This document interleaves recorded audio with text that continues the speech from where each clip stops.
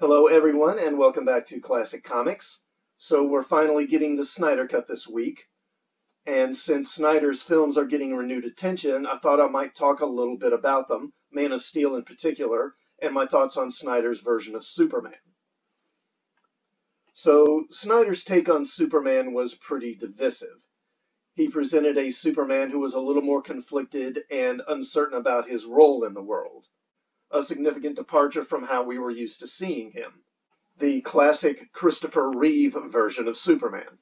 Personally, I had mixed feelings about this portrayal of the character, but I respected what Snyder was trying to do. He was trying to portray a Superman who exists in an environment that is closer to the world we live in, a more, not necessarily realistic, but more grounded version of Superman. I think this was done for a couple of reasons.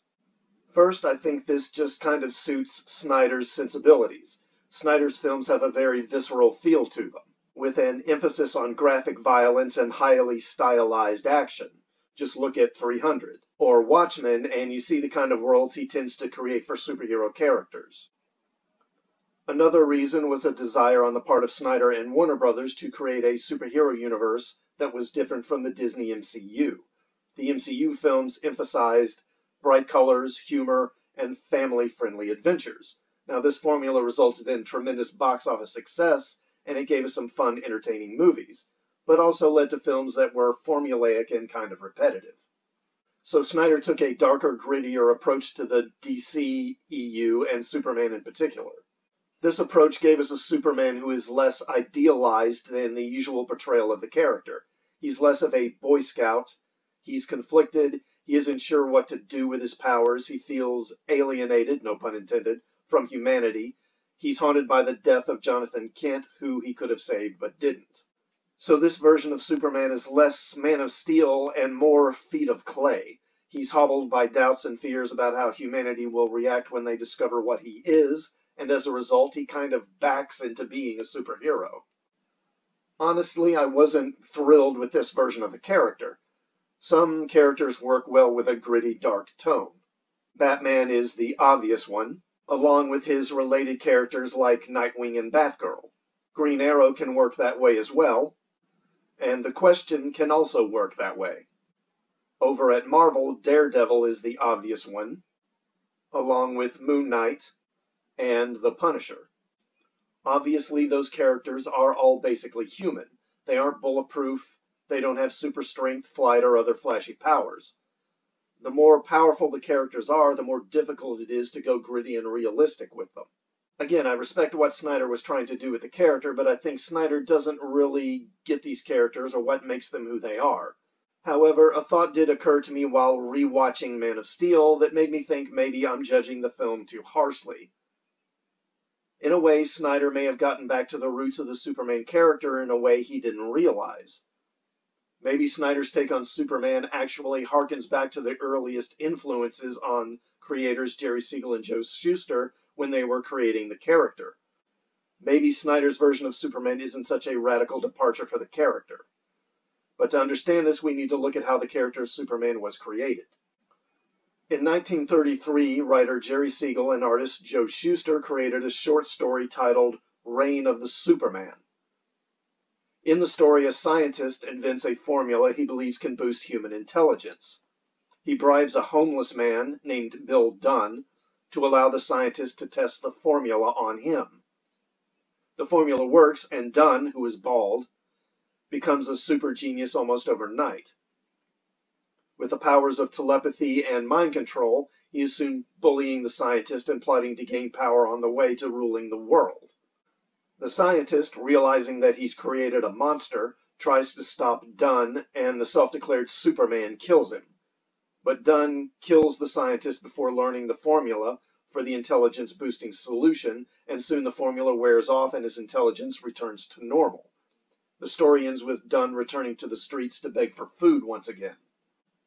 This was the first story that Siegel and Shuster created that featured a character called Superman. It's also interesting how the Superman of the story resembles Lex Luthor, another bald genius that Siegel and Shuster created. Siegel and Shuster spent the next few years developing the Superman character and trying to sell him to newspapers as a comic strip. During this time, Siegel decided that the character would be more sellable as a hero rather than as a villain. Siegel then changed the character, modifying Superman's powers to make him more sensational. Like Bill Dunn, the second version of Superman is given powers against his will by an unscrupulous scientist, but instead of gaining psychic abilities, he acquires superhuman strength and bulletproof skin. Later, his origin was changed again, becoming a scientist adventurer from the far future, where humanity has naturally evolved superpowers. Just before the Earth explodes, he escapes in a time machine to the modern era, whereupon he begins using his powers to fight crime. Still later, his origin was changed again. In the distant future, where Earth is on the verge of exploding, the last surviving man sends his three-year-old son back in time to the year 1935. The time machine appears on a road where it is discovered by Sam and Molly Kent. They leave the boy in an orphanage, but the staff struggles to control him because he has superhuman strength. The Kents adopt the boy and name him Clark and teach him that he must use his fantastic natural gifts for the benefit of humanity. Is this starting to sound familiar yet? The origin story would then be altered once again, making him an alien from the planet Krypton, becoming the Superman we know. A couple of years later, they sold the character to a publisher called DC Comics, and the rest is history. But how did Siegel and Shuster get from the bald genius in Reign of the Superman to the heroic figure in the first issue of Action Comics. Like most creators, they were influenced by other stories they read. Both Siegel and Shuster were fans of pulp science fiction stories, and those stories often featured characters with superhuman abilities like telepathy and superhuman strength. Siegel admitted in an interview that the John Carter stories by Edgar Rice Burroughs influenced him. This isn't surprising. In the Burroughs novels, Carter is an Earthman who is transported to Mars, because Mars is slightly smaller than Earth, its gravity is weaker than Earth's.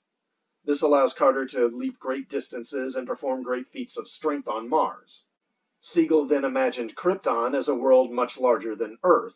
When young Kal-El is sent to Earth, its weaker gravity helps give Superman powers and abilities far beyond those of mortal men. Now, according to his Wikipedia entry, Siegel mentioned in an unpublished memoir called Creation of a Superhero that another big influence on him was a science fiction novel called Gladiator, which was written by Philip Wylie and published in 1930. The story involves a scientist who invents a serum to improve humans by granting them the proportionate strength of an ant. The scientist injects his pregnant wife with the serum, and his son, named Hugo Danner, is born with superhuman strength, speed, and bulletproof skin.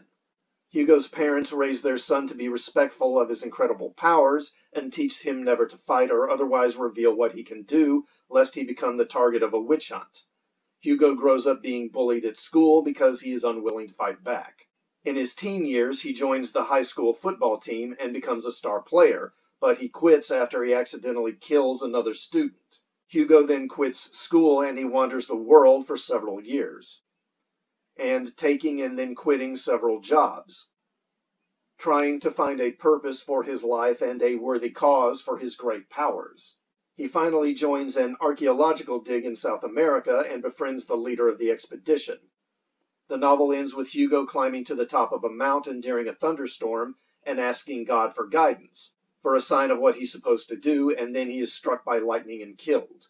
I'm focusing on Gladiator in this video because there are some elements to Man of Steel that are clearly similar to the Gladiator novel. Clark is warned by his parents never to reveal what he can do or he may be persecuted for it.